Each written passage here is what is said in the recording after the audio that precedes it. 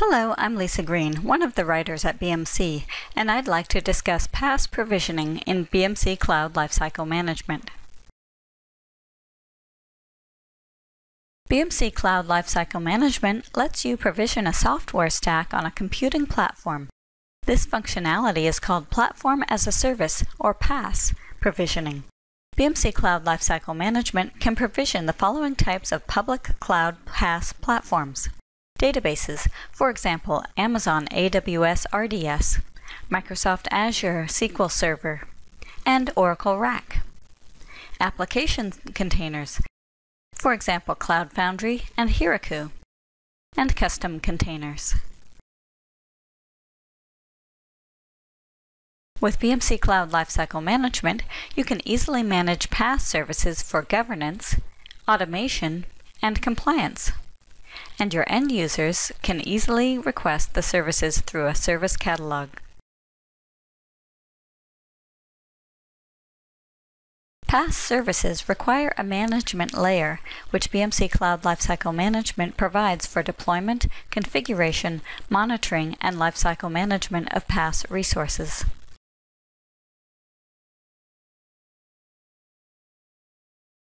The number of PaaS services continually grows in the marketplace, and BMC needed to improve the speed of integration with BMC Cloud Lifecycle Management. To address this need, BMC created a generic PaaS provider framework, which includes two layers, a generic provider and the proxy providers.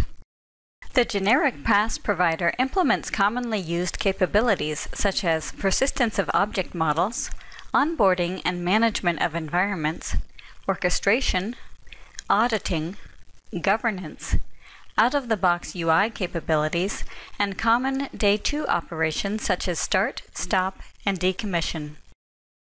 With the generic PaaS provider, proxy providers do not need to repeat this functionality.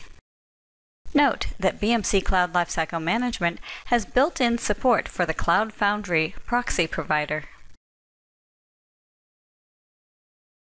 With PaaS, you can offer services like these. Middleware components such as WebLogic, WebSphere, Java, .NET, and Message Bus application environments. Applications. For example, you can offer Cloud Foundry, Heroku, OpenShift, and Amazon's Elastic Beanstalk application PaaS services so that developers can use these PaaS platforms to build, deploy, and run their application code without worrying about infrastructure deployment, maintenance, and support.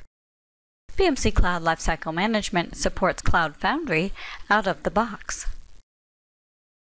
Another service you can offer is Database PaaS, which allows developers, application owners, and organizations to deploy databases quickly and reduce the overhead of managing the databases and their infrastructure. Using BMC Database Automation, BMC Cloud Lifecycle Management can provision the following types of databases as platforms Oracle RAC, Oracle Restart, and Oracle Standalone. Another service is Object Storage, such as Amazon S3 and OpenStack Swift. If you offer object storage as a service offering, users can request storage buckets where they can upload and download data, files, and objects. Note that object storage and middleware, like application servers and web servers, are not supported out of the box. You must provision them as custom containers. And finally, Docker which you can provision as a custom container, and in the future, other container technology.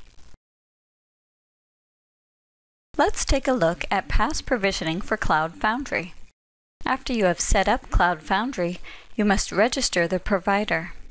Go to the Providers workspace on the Administration console and set up two providers, the overall PaaS provider and the proxy provider.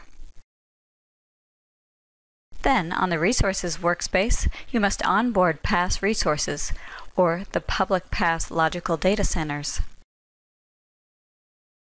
Next, you must map tenants to a logical data center. After that, you would create a service blueprint, and finally, the service offering. PaaS provisioning for Cloud Foundry is documented in detail at docs.bmc.com. This video has discussed PaaS, but note that BMC Cloud Lifecycle Management also lets you provision software as a service, or SaaS, such as Dropbox, Salesforce, and other SaaS services. The steps are pretty simple. For example, for Dropbox, you would create a Dropbox proxy provider that implements a few APIs based on the design of the service. The APIs might add new users and send a welcome email. Next, create an onboard and execution environment.